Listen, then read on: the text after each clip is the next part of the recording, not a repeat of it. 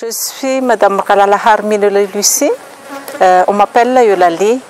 Euh, je suis du secteur privé et je viens de Madagascar. On a déjà travaillé avec euh, le projet il y a déjà deux, trois ans par là. Nous, là-bas, on, on est dans le cadre de la production de semences améliorées et on a utilisé des semences pré-base. On a travaillé avec euh, l'Africa Res, la FOFIFA aussi. Ça fait déjà quatre ans comme ça. On a fait un contrat avec la FOFIFA et l'Africa Res pour la production de la semence pré-base chez 3 d'une Erika 4. Et maintenant, à Madagascar, on est en pleine récolte. Ça nous a aidé beaucoup. Mais le parcelle qu'on a utilisé a aussi aidé la population. Notre parcelle a été utilisée comme vitrine de formation. Et puis, il y avait euh, la formation des agents de contrôle de semences là-bas en Sirapé, effectivement. Et ils ont été dans les 4, enfin 4 personnes. Ils nous ont contactés si on peut utiliser notre parcelle également, l'Anérica 4. C'est bénéfique pour nous et pour nous, le producteur de semences, puisque la population commence et déjà, a déjà adopté notre semence améliorée et l'utilisateur augmente d'année en année maintenant. Et le problème, c'est que nous n'avons pas pu euh, atteindre notre, euh, la quantité nécessaire, euh, surtout les semences de riz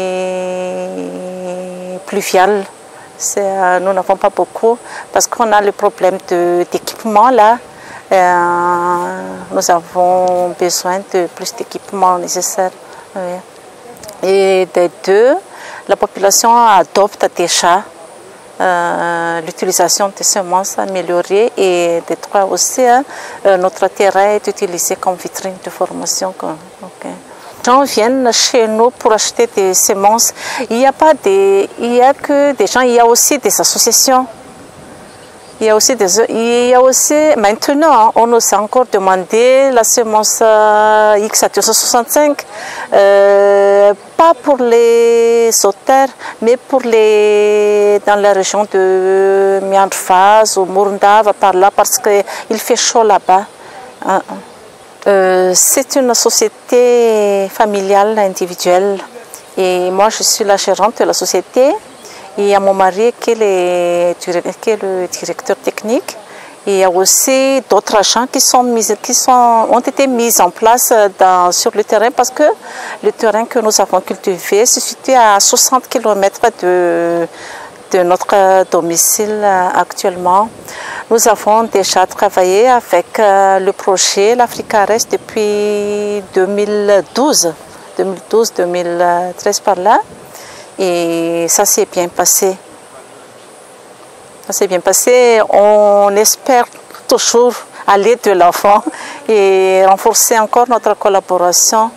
Et surtout, si je peux demander quoi que ce soit, je, je demande l'appui en matériel, en équipement.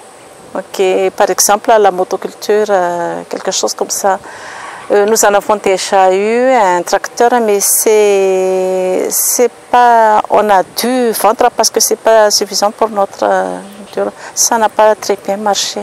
Il y a des gens en permanence là-bas et on a travaillé toujours avec les habitants, la population et on a même, il y avait l'année, la saison, la précédente saison, pas la précédente actuelle, la, la saison actuelle, la précédente saison, on a dû louer des terrains des terrains, des paysans, et, pour qu'on puisse augmenter notre culture.